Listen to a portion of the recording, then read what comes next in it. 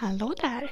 Idag ska vi måla vattenlandskap och jag målar på ett papper från Saunders Waterford som är stabilt och bra. Det är nog mitt favoritpapper. Jag fuktar det på baksidan och sen på framsidan. På baksidan för att det ska ligga still här på min lilla bräda.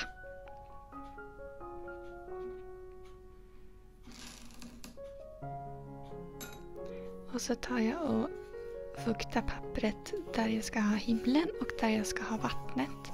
Och himlen sträcker sig ungefär en tredjedel ner på pappret. Det är snyggt att ha horisonten inte riktigt i mitten utan lite ovanför så blir det en bättre balans. Och nu när pappret är jämnt och fuktigt så ska jag börja lägga på blå färg. Och jag tycker om att eh, måla färgen i ett papper som redan är fuktigt därför att det är lättare att få det jämnt. Tycker jag i alla fall. Och tanken här då är att det ska vara ljusast i mitten. Så jag börjar arbeta med färgen och lägger på rejält med pigment högst upp och längst ner. Och det här tycker jag är absolut enklast att göra med en stor pensel. Använder man en liten så är det lätt att det blir flammigt.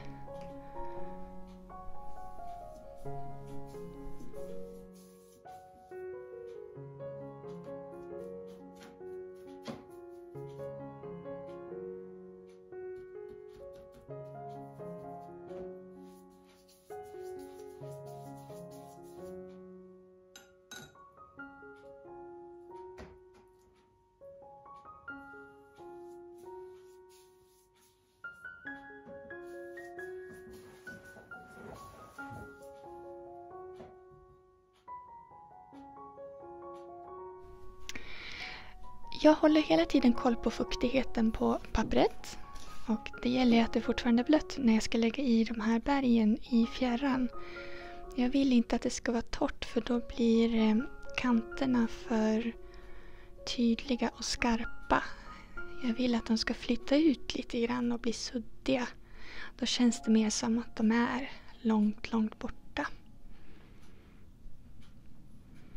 Jag kommer lägga två varv med berg. Så den första är eh, ganska så ljus. Så att jag kan lägga på lite mer pigment i nästa varv. Och sen går jag på med vågorna. Och då krämar jag på med en eh, ganska så tät färg här. Jag använder Windsor Blue och eh, här har jag Indigo som är en mörkblå färg.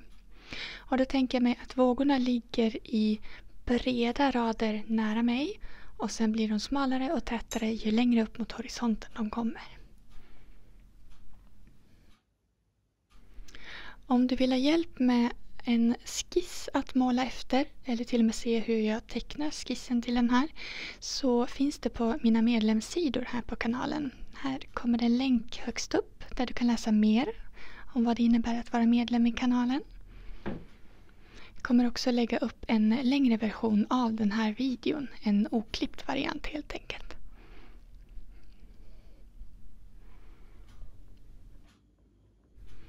Jag går över till att använda en eh, mindre pensel till strecken som ska vara riktigt, riktigt smala. Och jag blandar faktiskt lite mm, styrka på färgen. Så ibland är det mörkt, ibland är det lite ljusare när jag lägger i de här strecken. Det kan vara lite variation. Men jag försöker att hålla ett ljus i mitten av pappret. Och så ska det vara mörkare till höger och vänster.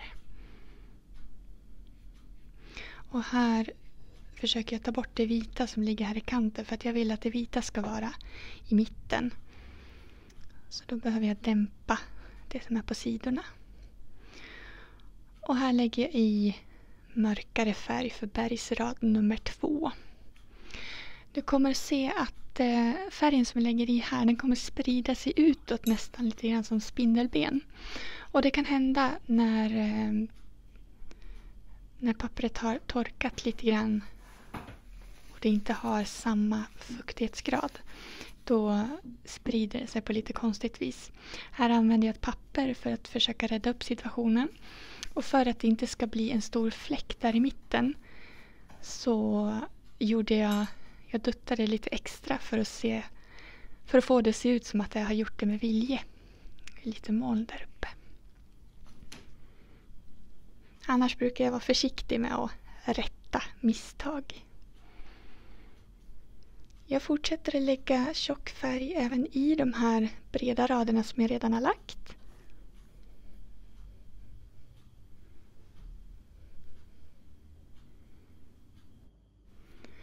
Och det jag gör härifrån är att eh, ta in helhetsbilden och lägga streck där jag tycker att det saknas. Känner in balansen i målningen helt enkelt.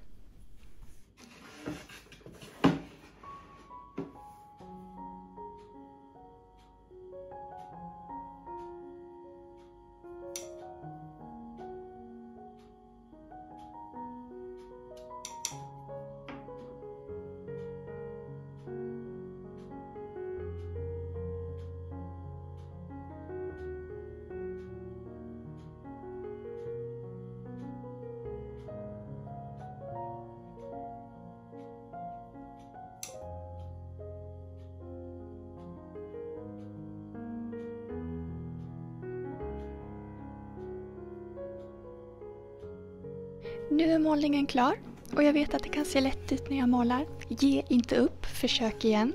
Just den här eh, målningen handlar mycket om att kontrollera hur fuktigt pappret är, hur mycket vatten man har i penseln och sådär. Så det är bara att träna, träna. Om du tycker att det går för fort så kan du ändra uppspelningshastigheten på videon om du letar dig fram till inställningshjulet här på Youtube. Det kan vara lite knepigt på telefon men på dator är det ganska enkelt.